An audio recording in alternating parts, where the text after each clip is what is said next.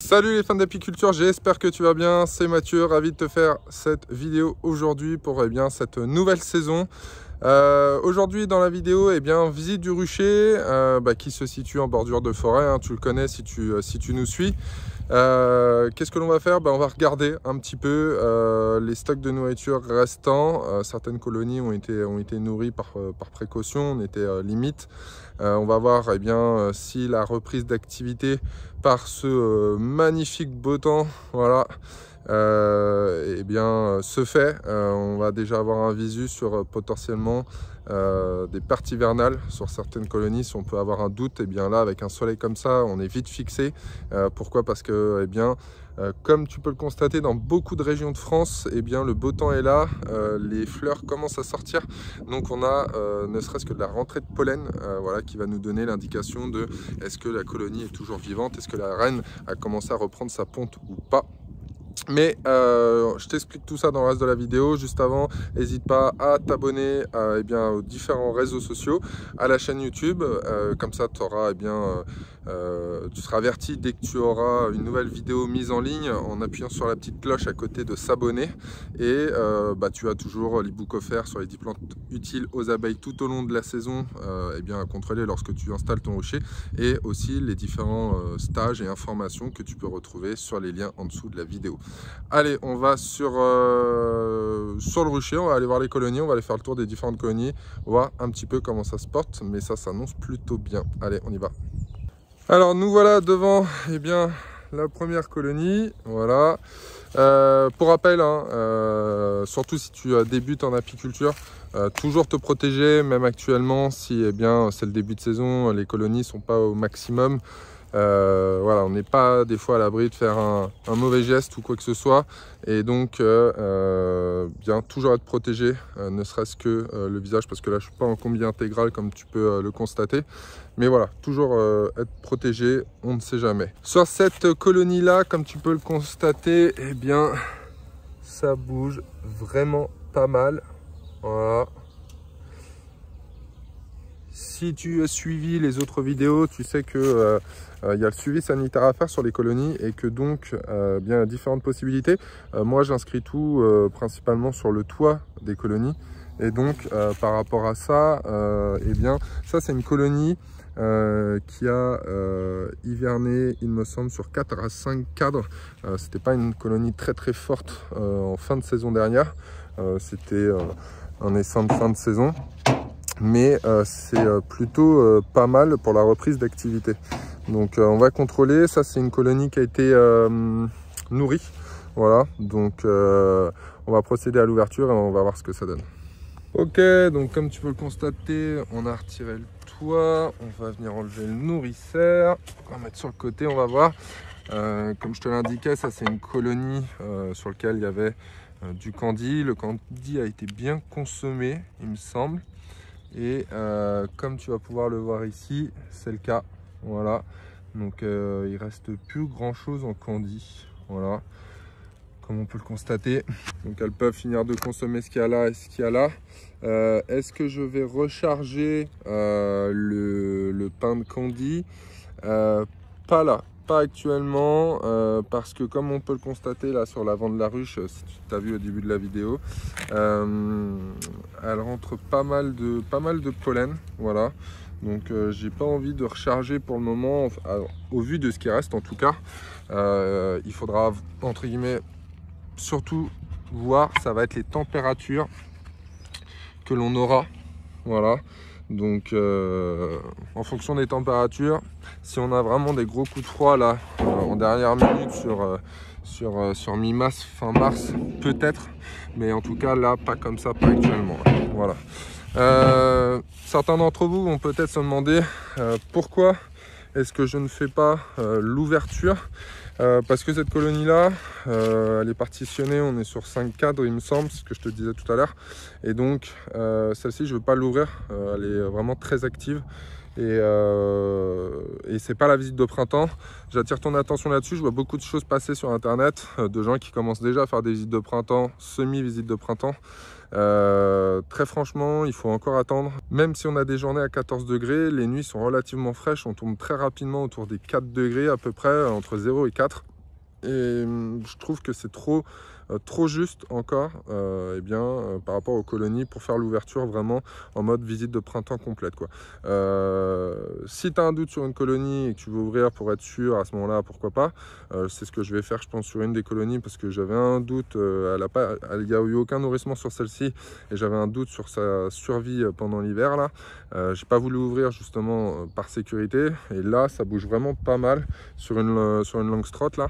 Donc je vais quand même ouvrir pour voir euh, on ne sait jamais, ça pourrait être un pillage, on ne sait jamais.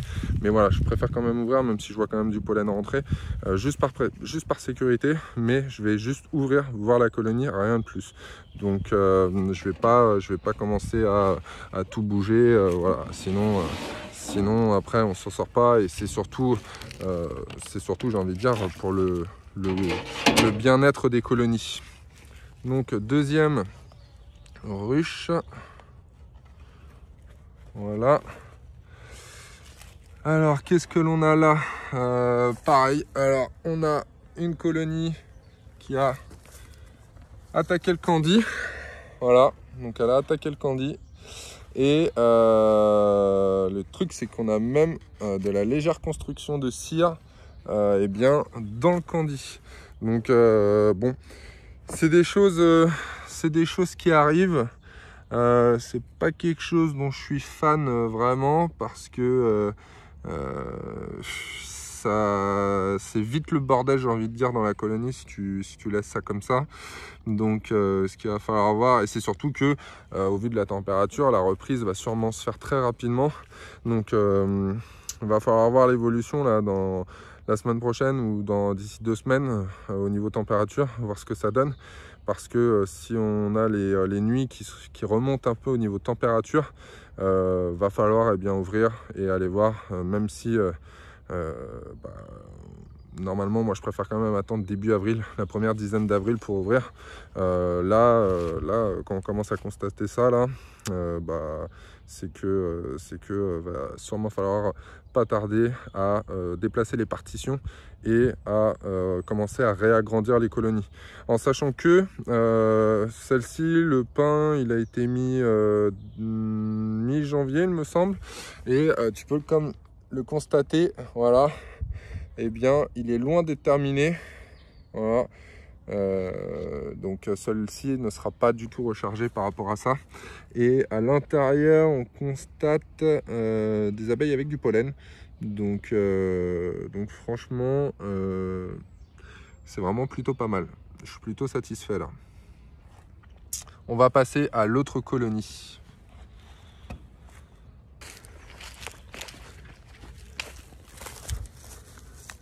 Alors, troisième colonie,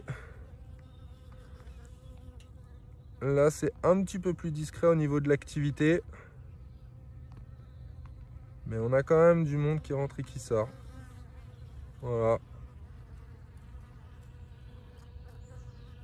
Alors sur celle-ci, euh, clairement, on est plus sur un profil, euh, sur un profil type, euh, type abeille noire.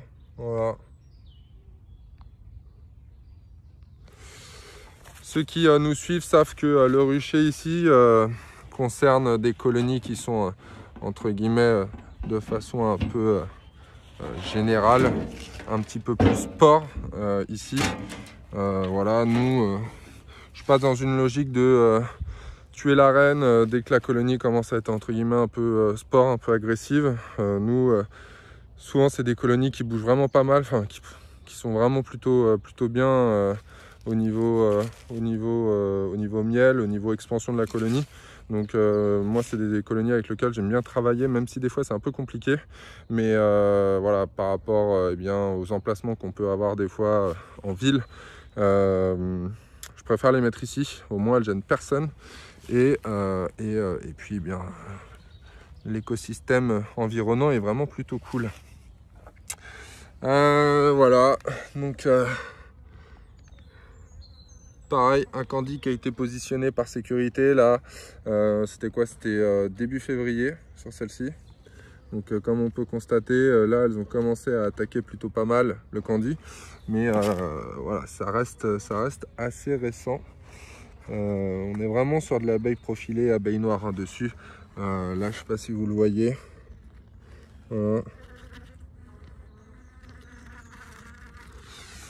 Donc ça plutôt cool. Dès que on va pouvoir attaquer entre guillemets la visite de printemps. Tous les pains de candy seront supprimés. Tous les pains de candy seront supprimés vraiment pour euh, repartir sur une autonomie, euh, sur une autonomie des colonies. Donc là, on est sur la quatrième ruche. Voilà.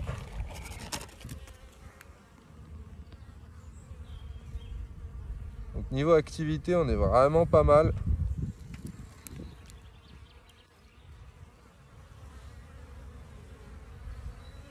Celle-ci.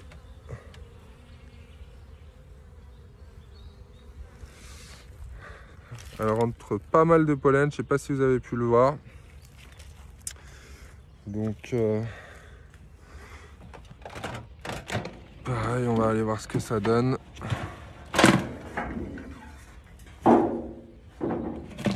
là.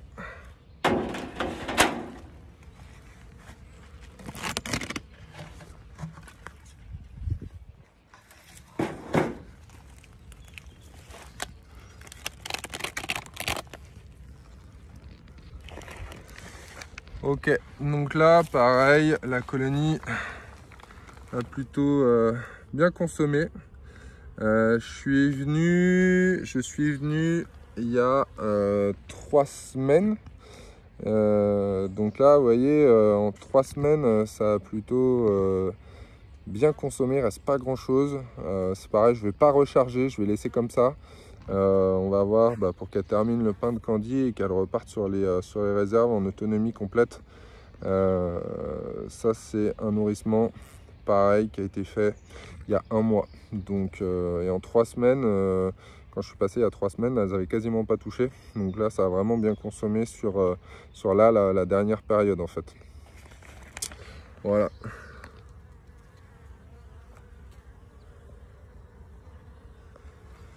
On va pas les embêter plus longtemps. On va refermer. Allez. Alors celle-ci là, il y en a, c'est vraiment typé euh, plus, euh, plus abeille noire là. S'il y en a qui se posent la question. Ok, euh, donc là on est sur deux colonies. là on est sur une colonie en Langstrot sur lequel il y a de l'activité. Voilà. Euh, il y a des abeilles qui rentrent du pollen. Voilà, là on en a 3, 4 qui rentrent du pollen. Voilà, vraiment sur la partie euh, tout à gauche là-bas. Voilà. Donc celle-ci n'a pas du tout été nourrie. Voilà, parce qu'on n'a même pas, euh, on même pas l'ouverture, l'ouverture sur le dessus là. Celle-ci, ça a été une colonie qu'on a récupérée vraiment en fin de saison aussi. Euh, donc euh, euh, on n'avait pas eu le temps de la préparer. Celle-là malheureusement on est passé à côté.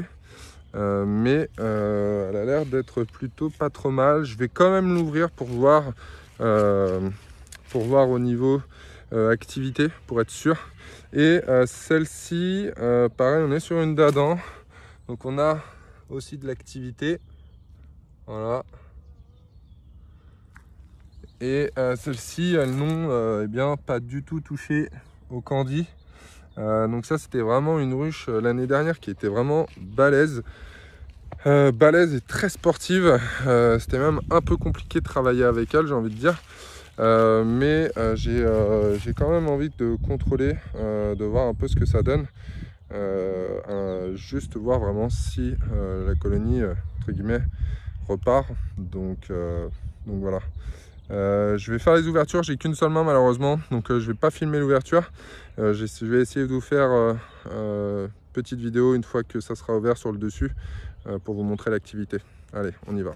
Voilà, donc j'ai retiré le couvre-cadre, j'ai commencé à regarder, donc la colonie est active. ce qui est marrant sur cette ruche, c'est que en fin de saison, l'année dernière, vu qu'on est partitionné sur 5 cadres, il me semble, on a eu une, une famille de mulots qui s'est installée euh, pour passer l'hiver, peinard, euh, on les a euh, sortis.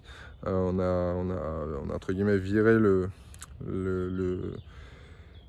tout l'amas de feuilles, de, petits, de petits, de petits, comment dire, d'herbes sèches et tout ça. Mais apparemment ils sont revenus. Donc je vais vous montrer. Voilà. voilà la colonie. Donc comme vous pouvez le constater, il y a du monde. Voilà. Et là, on a notre petite euh, famille mulot qui nous a fait, qui nous a refait plutôt, pardon, son, euh, son petit terrier. Voilà. Donc euh, là, on est sur 2, 4, 5 cadres. Voilà, c'est ce que je disais. Et donc la colonie est là. Pareil, on n'est pas vraiment sur, on n'est pas sur de la buck. Hein. là, on va être plus sur. hop, là, on va refermer sans écraser tout le monde. On est plus sur euh, voilà une colonie, euh, j'ai envie de dire, d'essaimage sur celle-ci. Euh, elle est typée quand même profilée abeille noire. Donc, donc voilà. pas de nourrissement pour celle-là. ça a l'air d'aller. Donc elle va rester telle qu'elle. Et celle-ci, pareil. Donc je vous disais tout à l'heure, le nourrissement, bah, ça n'a pas été touché. Voilà. Donc euh, on va quand même ouvrir pour voir euh, rapidement si l'activité a redémarré. Et euh, je vous reprends tout de suite. Ok, donc je viens de faire l'ouverture là sur la dernière colonie. bon, voilà, c'est ce que je vous disais tout à l'heure. Si on a un doute sur une colonie, même si c'est pas la visite de printemps, autant l'ouvrir pour contrôler, voir si entre guillemets elle est active. Il y avait un petit peu d'entrée, mais sans pollen sur celle-ci et c'était vraiment des entrées, euh, voilà, c'était minime. Euh, bon, j'ai bien fait d'ouvrir euh, parce que en fait c'est une, une, ruche qui bah, terminait de se faire entre guillemets piller. Voilà.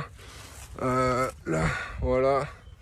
Vous avez la colonie. Donc bon, il y a il y a comment dire, il y a pas de consommation sur le reste de candy là que j'avais installé. Bon, ça en soi c'est pas pas, pas, un problème hein, parce que voilà, il y a des colonies qui en consomment pas avec des ressources hivernales assez assez euh, intéressantes. Mais là, euh, mais là voilà, euh, là il y a il y a plus personne à l'intérieur clairement. il reste encore un petit tas d'abeilles dessus. Celle-ci c'était une très très très grosse colonie en fin de saison dernière. voilà. Donc euh, celle-ci, on n'a pas pu, entre guillemets, vraiment euh, réduire de façon assez conséquente comme j'ai fait sur les autres. Voilà. Euh, sûrement une erreur de ma part, je pense. J'aurais dû, dû faire comme toutes les autres et comme je fais d'habitude, c'est-à-dire réduire les colonies, les mettre, même si elles sont grosses et assez conséquentes sur cette cadre. Voilà. La nourriture, il en reste très peu sur quelques cadres, mais bon, ça va pas être euh, très parlant puisque, euh, puisque eh bien, les abeilles qui sont à l'intérieur euh, récupèrent ce qui reste en nourriture, donc elles font, elles font du pillage. Voilà, donc on va fermer la colonie là, et puis on, va, on va faire le tri dans les cadres. Les cadres sont propres encore. et, et, puis, et puis virer les vieux cadres et tout passer à la flamme pour repartir sur une, colonie saine pour le début de saison. Euh, on, va, on va la ramener puis on va, on va, faire, on va faire le nettoyage. Euh, du coup, qu'est-ce qu'il en sort au niveau du rucher? Euh, Je referme la colonie là et on refait le, débrief et eh bien, sur, ce, sur le rucher voilà, de, forêt et puis bah, pour la saison 2021 ce que, ce que l'on va faire. Ok, petit débrief eh bien, après le contrôle des six colonies qui sont derrière moi. Euh, eh bien, il y a une colonie, euh, une colonie de mortes, euh, qui est celle tout au fond, là-bas, derrière. Donc celle-ci, on va l'évacuer du site et puis on va procéder bah, au passage à la flamme, contrôle des cadres, voilà, bon. c'est pas une mort de maladie, il reste encore un petit peu de nourriture. Mais bon, apparemment, il y a dû y avoir un souci sur une mortalité. la population a l'air assez, assez fébrile, en tout cas sur ce qui reste au fond de la colonie. Donc peut-être un défaut de reine ou lors des dernières manips, on a peut-être peut-être tué la reine. Bon, c'est des choses qui arrivent potentiellement, malheureusement. Voilà. Euh, débrief sur le reste, euh, franchement plutôt satisfait. Euh, parce que du coup sur 6 colonies, on en a 5 qui sont viables. 5 qui vont, et eh bien là, là, qui tournent vraiment pas mal. qui vont chercher du pollen, un petit peu nectar là, sur les, fruitiers qui sont aux alentours. Donc euh, le noisetier a commencé à sortir, donc euh, vraiment pas mal de pollen euh, à disposition. Donc c'est vraiment une reprise là, de saison sur ce rucher-là qui est plutôt pas mal. sur six colonies, on en a entre guillemets une de perdue. Donc au niveau, niveau comment dire, niveau pourcentage, c'est plutôt pas mal, en sachant qu'on n'a pas fait un traitement systématique des colonies contre le varroa. ici, il n'y a eu que deux colonies traitées euh, la Pivar Life, euh, donc euh, avec les petits tampons imbibés d'huiles essentielles. voilà, il y, en a, il y en a deux qui ont été traités, les autres n'ont pas été traités. donc donc c'est plutôt, plutôt satisfaisant. on va faire le tour du reste des autres ruchers que l'on a. je vais vous tenir informé eh bien, de la suite. Euh, je sais d'ores et déjà qu'il y a un autre rucher qui apporte euh, Porte de Paris euh, qui est sur un des sites où on fait eh bien, des stages. eh bien, sur celui-ci, j'ai fait un contrôle il y a deux semaines et il y avait une colonie, pareil, sur 5 euh, ou 6 ruches euh, qui, euh, qui n'a pas passé l'hiver. Mais celle-ci, je pense, même problème que celle-là. on a eu un problème de reine, la colonie, alors à, à contrario de celle-ci qui était vraiment entre guillemets balèze en fin de saison, l'autre était vraiment petite et je pense qu'on a eu un problème de reine dessus. mais sinon, toutes les autres colonies allaient super bien. Donc vraiment, l'hivernage est plutôt satisfaisant. Euh, quasiment pas de perte. Euh, franchement, euh, c'est vraiment, vraiment plutôt bien. la saison 2021 s'annonce plutôt bonne aussi à l'heure actuelle, malgré, je dis bien malgré, certains peuvent être contents, se réjouir, mais mm, voilà, à faire attention, malgré le fait d'avoir là, début mars, lors de cette vidéo, d'avoir des températures vraiment bah, plutôt très très clémente. Donc vraiment à faire attention euh, parce que ça, peut, ça risque de partir très très vite euh, si ça continue comme ça. Donc euh, les visites de printemps vont peut-être être, anticipées. voilà, gardez un œil sur vos colonies et surtout, j'attire votre attention sur le fait que ce n'est pas parce que je fais une visite de printemps ou que l'un l'une autre, une autre personne que vous suivez fait une visite de printemps ou que, euh, voilà, peu importe l'apiculteur que vous avez autour de chez vous fait une visite de printemps, euh, vous devez faire votre visite de printemps. Non, loin de là, je vous rappelle que vous devez vous adapter au secteur où vous êtes situé, euh, ben, les abeilles, voir si potentiellement, au point de vue de la météo, des ressources alimentaires, eh bien, vous sentez que vous devez faire cette visite, vous la faites, mais il faut vraiment faire du cas par cas parce que d'un rucher à un autre, qui peuvent être passer potentiellement 10 km, on va pas avoir les mêmes températures. Et donc, eh bien, les visites ne vont pas se faire au même moment. D'accord? De toute façon, euh, une prochaine vidéo va arriver sur la visite de printemps. Euh, on en reparlera. Voilà. Euh, et j'espère que cette vidéo vous a plu. Si c'est le cas, n'hésitez pas à mettre un pouce en l'air, à partager, à liker, à vous abonner encore une fois de plus. Et puis, euh, mettez-moi dans les commentaires en dessous de la vidéo, vous, euh, au niveau des pertes hivernales, euh, ce que vous avez pu constater. Est-ce que cette année c'était en baisse? Est-ce que bah, c'est constant? Voilà, je sais qu'on est une moyenne en France à peu près à 30% de pertes de colonies sur les ruchers, ce qui est quand même assez conséquent. Donc, dites-moi vous, eh bien, là où vous en êtes par rapport à ça, et si potentiellement, bah, vous voyez des choses à améliorer ou pas. en tout cas, voilà, l'hivernage pour nous est plutôt satisfaisant déjà sur deux, deux ruchers. Donc euh, donc c'est vraiment plutôt cool. Belle saison qui arrive. Allez, c'est la fin de la vidéo. Je te dis à très bientôt. Et puis, euh, eh bien, euh, attention à toi et à tes colonies. Ciao, ciao